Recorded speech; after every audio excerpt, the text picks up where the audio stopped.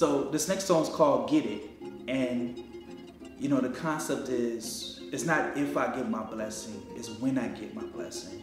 And me and one of my closest brothers in Christ, um, uh, Leonard uh, Woodard, um, we call him the Oracle. He's like an OG around the parts of gospel rap, and you know me and him created a song together. And it's something, like I said, it's something more of a mellow, mellow beat, up tempo, and it just talks about it's not if you get receive it, it's the notion of of having faith that you're going to receive that blessing.